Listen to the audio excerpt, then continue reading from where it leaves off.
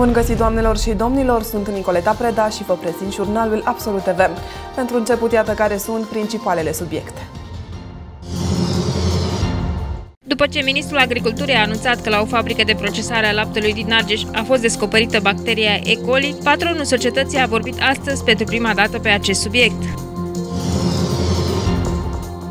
Numărul copiilor internați cu scaune diareice în spitalele din județ crește semnificativ de la o zi la alta. Politicienii argeșeni au ieșit astăzi în stradă și au oferit flori doamnelor și domnișoarelor. După ce luni, ministrul agriculturii a anunțat că la o fabrică de procesare a laptelui din Argeș a fost descoperită bacteria E. coli, patronul lactate Brădet, Marius Badea, a vorbit astăzi pentru prima dată presei. Acesta spune că cel mai probabil va închide producția și că nu mai crede în reabilitarea unității, deși este posibil ca ministrul să se fi grăbit să arate spre firma lui. După ce ministrul agriculturii a anunțat că la o fabrică de procesare a laptelui din Argeș a fost descoperită bacteria E. coli, patronul lactate Brădet, Marius Badea, a vorbit astăzi pentru prima oară pe acest subiect. Acesta spune că cel mai probabil va închide producția și că nu mai crede în reabilitarea unității, deși este posibil ca ministrul să se fi grăbit să arate spre firma lui. Cu lacrimi noi, patronul fabricii de lactate a mai spus că nu crede că produsele sale au constituit cauza îmbolnăvirii copiilor. Eu cred că nu este de aici din fabrică și sper din tot sufletul să elucidăm misterul ăsta și să dovedim că nu este s-au recoltat probe de sanitație de aici, au fost trimise și așteptăm răspunsul să vedem dacă este pe undeva, dar nu cred că poate să existe la modul în care noi sterilizăm și dezinfectăm uh, tot echipamentul cu care lucrăm. Ce simțiți că vă Acum sau Acum simt așa că mi-au luat revedere de la ceva. Spuneam uh, uh unei colegi de noastre care m-a sunat prin telefon pentru că mi-a venit o comparație să fac între, că a zis, de ce renunțați așa repede, că probabil că a văzut interviul cu dumneavoastră și i-am spus, nu gândiți-vă că eu am clădit ceva gen turnurile gemene și când a venit avionul și le-a lovit și le-a pus la pământ, le-a mai construit nimeni.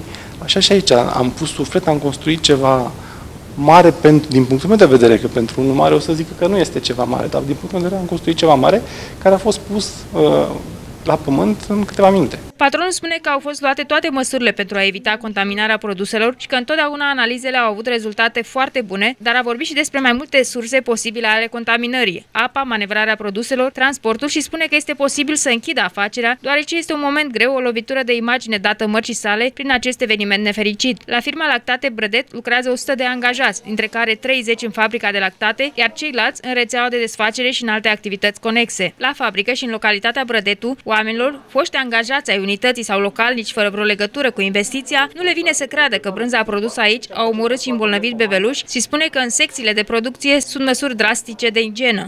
E posibil să fi întâmplat ceva, dar nu cred, pentru că v-am spus, am lucrat aici și nu era nici mizerie, nici...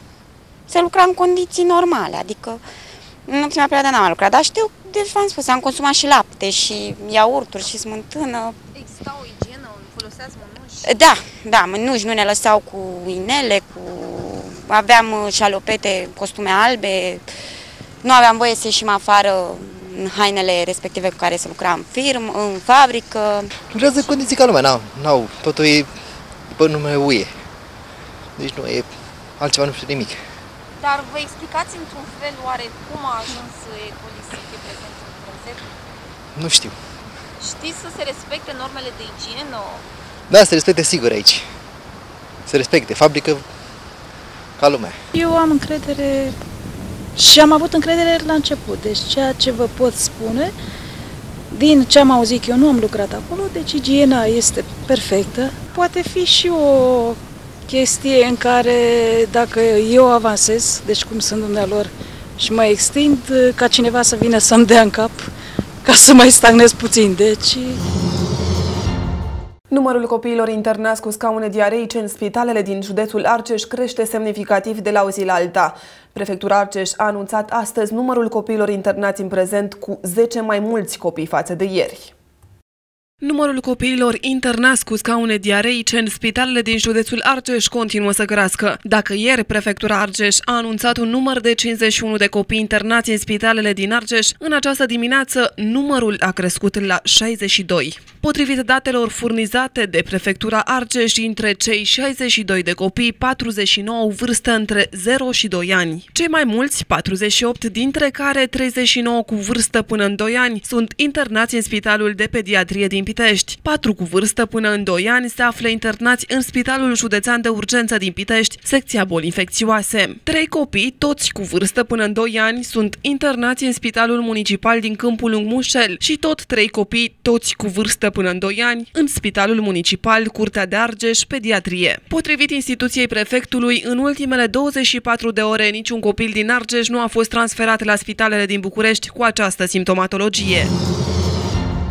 Conducerea primăriei Mioveni le reamintește contribuabililor că și în acest an pot beneficia de bonificații pentru achitarea integrală și cu anticipație până pe 31 martie impozitelor locale pentru locuință, teren și mașină. O reducere de 10% pentru persoanele fizice și de 5% pentru persoanele juridice. Din acest motiv, programul de încasare a taxelor locale în Mioveni a fost prelungit. Programul de încasare privind taxele locale în Mioveni a fost prelungit pentru luna martie, tocmai în ideea ca numărul contribuabililor beneficiari de reducere să fie cât mai mare. Din acest motiv s-a stabilit ca programul de încasare să fie următorul.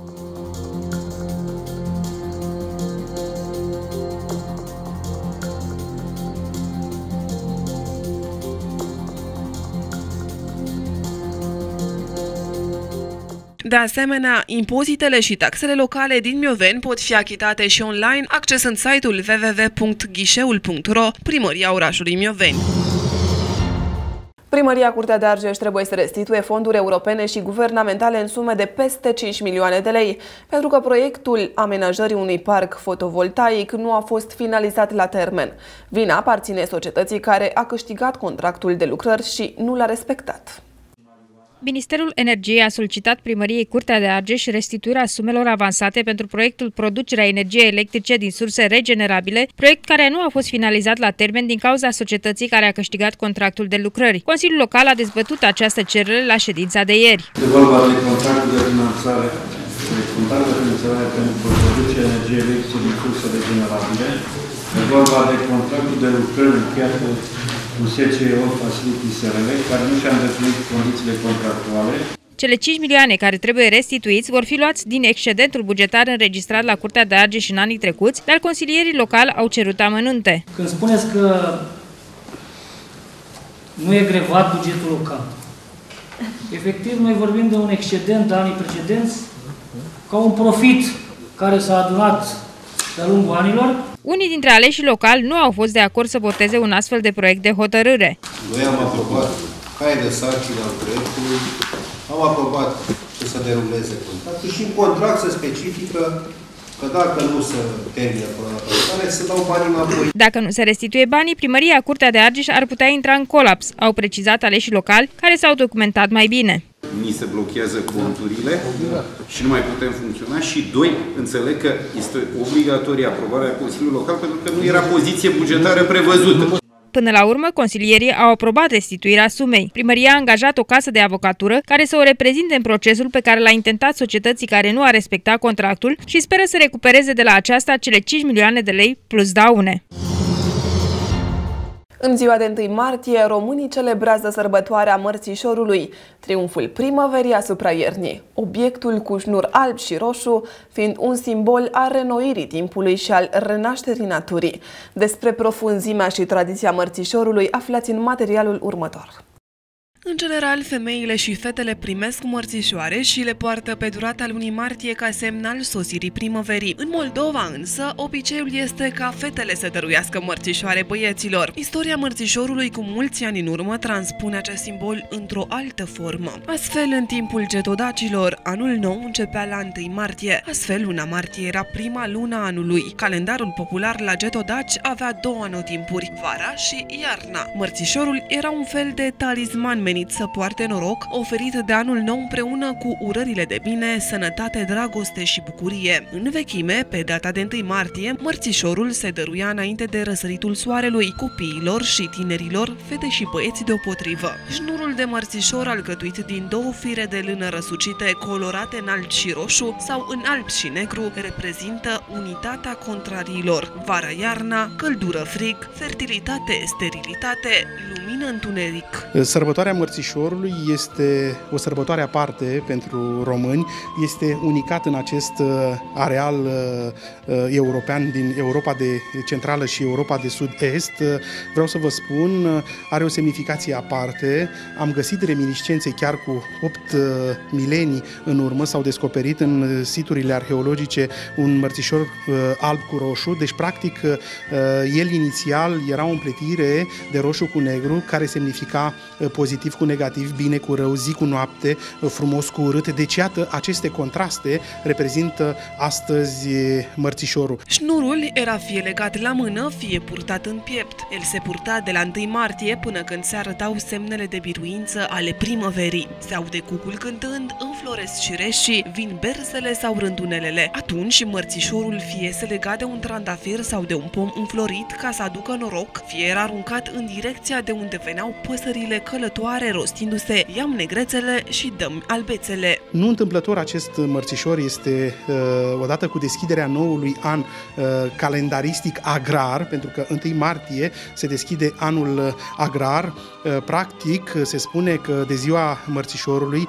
vin berzele, care sunt vestitorii primăverii, să îți ia negrețele și să-ți aducă albețele. Fața palidă, fața tristă, fața negrită, ieșită din iarnă, este plină de negrețe, pe care aceste berze vin și aduc prospețime, aduc frumusețe, aduc fericire pe chipul oamenilor. Să ne bucurăm de aceste sărbători uh, de primăvară care sunt unice în arealul european. Cu timpul la acest șnur s-a adăugat o monedă de argint. Moneda era asociată soarelui. Mărțișorul ajunge să fie un simbol al focului și al luminii, deci și al soarelui. Cu banul de la șnur se cumpărau vin roșu, pâine și caș proaspăt pentru ca purtătorii simbolului de primăvară să aibă fața albă, precum cașul și rumenă, precum vinul roșu. Unele legende populare susțin că mărțișorul ar fi fost tors de Baba Dochia în timp ce urca cu oile la munte. Uh, copiilor li se pun mărțișoare pe mânuță sau uh, pe fes, uh, iar se spune după 9 sau 12 zile, iată, se împrumută de la Baba Dochia, pentru că tot în această perioadă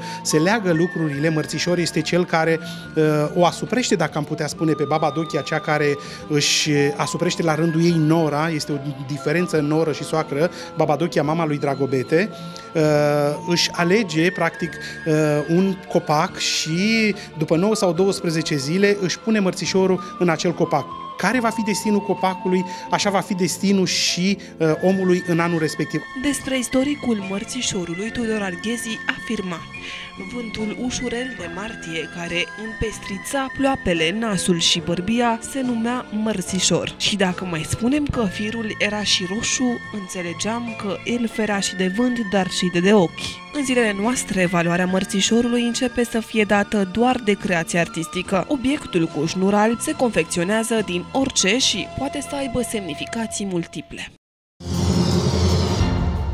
Organizațiile de tineret și seniori ALDE din Pitești și Mioveni au oferit astăzi flori și mărțișoare doamnelor și domnișoarelor.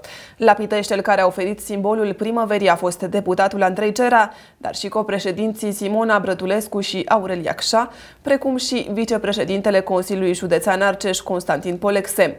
La Mioveni, doamnele și domnișoarele au fost felicitate cu ocazia zilei de 1 martie de către copreședintele Ion Neagoe.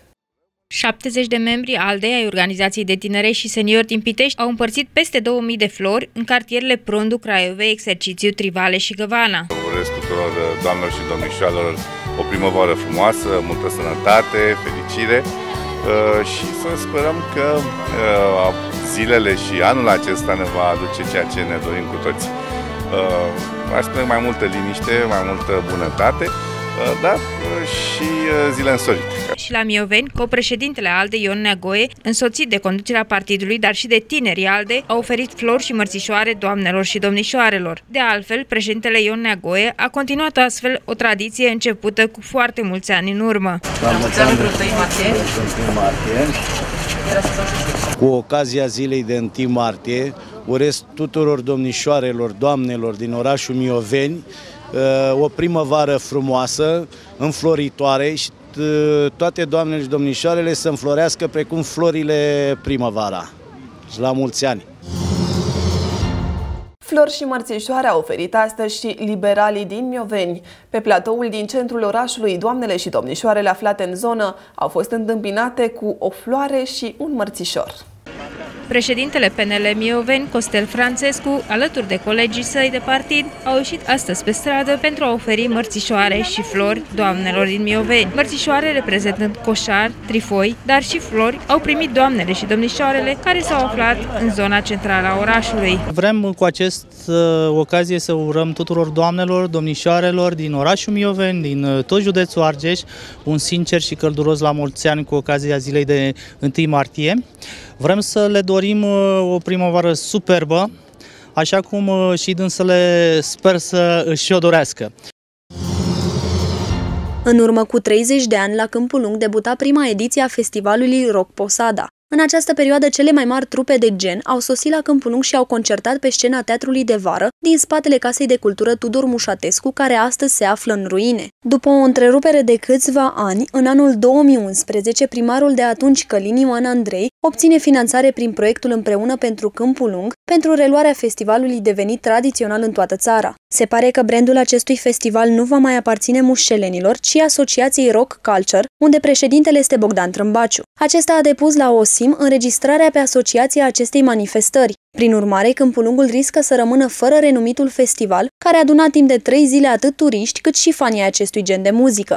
În data de 11.02, o asociație Rock Culture a depus la OSIM o cerere privind preluarea dreptului la brandului Posada. Deci e posibil ca noi să nu mai putem organiza acest festival. Eu am să iau legătura cu cineva în domeniu, care lucrează la OSIM și vedem ce putem face. S-ar putea să trebuiască să cine angajăm pe cine. Cine e persoana care vrea să... Asociație, eu asociație. Dar cine care sunt membri de asociație? S-ar putea să fie unul din Câmpul Lung, că nu a venit unul după altul de la Maramureș să preia Nu, păi nu din asociație. O asociație din Câmpul Trebuie discutat că știu că noi avem, nu avem... Eu mă documentez. Păi da, dar vrea să ia brandul, Posada. Nu pot să vorbesc sau da? Gata, domnul. Și că am văzut această înregistrare, trebuie să documentăm care sunt posibilitățile de atac. E într-o într, dezbatere publică, dar aici sunt foarte sensibile. Deci multe documente cu posada și așa mai departe. Deci, vedem despre ce vorba, s-ar putea să angajăm pe cineva care știe să angajeze în acest sens. Eu asta am înțeles. Dacă luăm brandul, nu avem ce face. Nu e luat. Nu e. E depusă numai cererea și durează două luni de zile. Așteptare. Poate și mai mult. Poate și mai Rămâne mult. să... Poate să mă duc și poate să... Nu, legislativ nu poate. Rămâne să luați noastră legătura la o singură. Eu îi legătura. Cererea depusă pe 11 februarie 2016 la OSIM de către Asociația Rock Culture poate primi aviz favorabil în două luni de zile dacă administrația locală nu ia nicio atitudine. Odată ce brandul va fi preluat de asociație, la Câmpul Lung rockul va muri încet și sigur.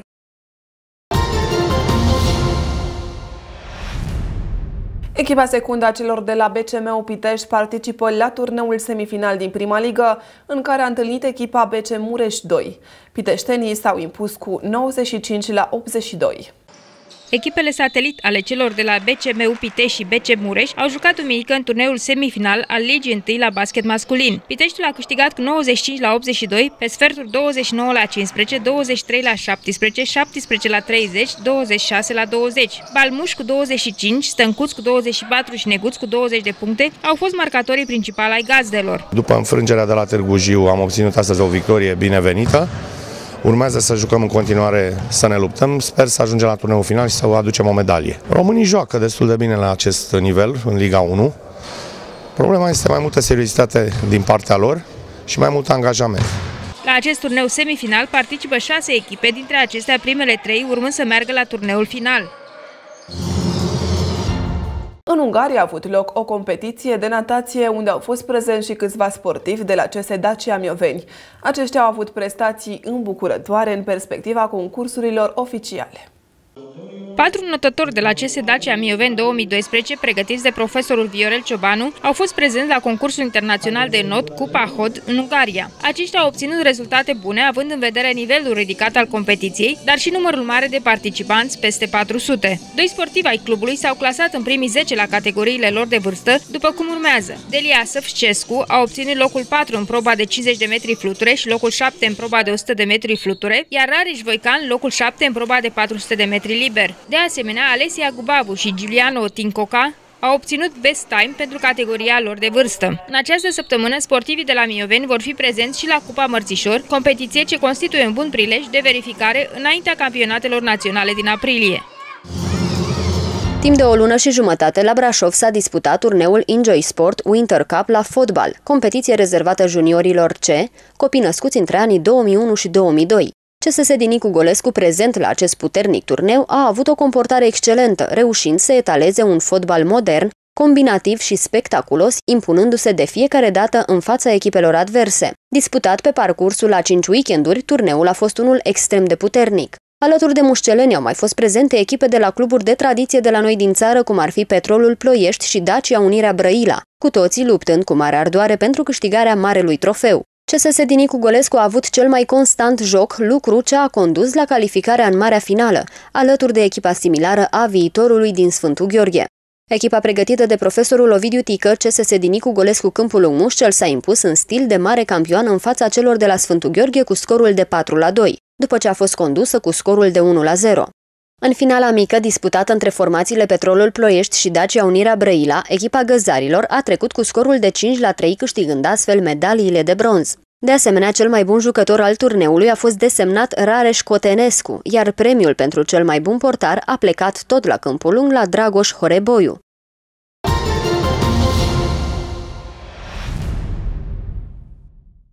Vremea se menține caldă pentru această perioadă a anului. Temperaturile maxime se vor încadra între 15 și 19 grade, iar cele minime între 2 și 8 grade. Cerul va avea unele norări, iar vântul va avea intensificări în prima parte a intervalului, apoi va sufla slab și moderat. La munte, cerul va fi mai mult roz și local, ziua vor fi mai ales ploi, iar noaptea și lapovițe sau ninsori. Vântul va avea unele intensificări, iar pe crestele cele mai înalte va spulbera zăpada. Valorile termice vor fi în scădere ușoară.